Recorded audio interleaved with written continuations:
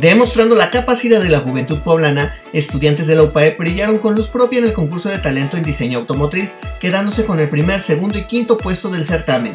Aldo Mendoza de la Rosa, estudiante de la Ingeniería en Diseño Automotriz y ganador del primer lugar, se mostró entusiasmado por el reconocimiento de su proyecto, el cual consta de una señal de puerta abierta cerrada que siempre esté funcionando y que propone un cambio de ingeniería en los autos. Mi proyecto eh, se basó en una señal de puerta abierta cerrada siempre funcionando y que se trata de un cambio de ingeniería eh, en la cerradura, en un módulo de la cerradura que se llama microswitch, que ya no va a ser por contacto, sino simplemente eh, por un sensado. Es cero contacto, entonces provoca un ahorro para la empresa de calidad eh, anual y también mayor seguridad para el usuario y una fidelidad del mismo hacia la empresa.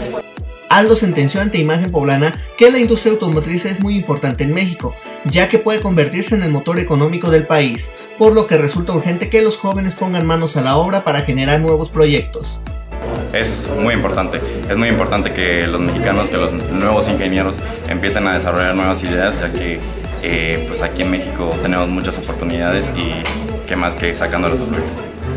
El estudiante de UPAEP dejó en claro que para cursar alguna carrera automotriz es fundamental el ingenio, por lo que recomendó a los jóvenes que estudian alguna carrera de este tipo no guardarse sus ideas. Eh, más que nada yo diría que ingenio.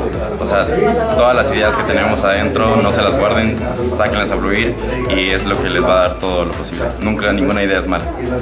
El segundo lugar de este concurso fue para Luis Octavio Bautista, con un mecanismo de apoyo a personas con problemas físicos para subir y bajar del auto. El quinto se quedó en manos de Carlos Arturo Ortiz, quien desarrolló un proyecto de conectividad mediante una aplicación de celular. Para Imagen Poblana, Gustavo Mirón Reyes.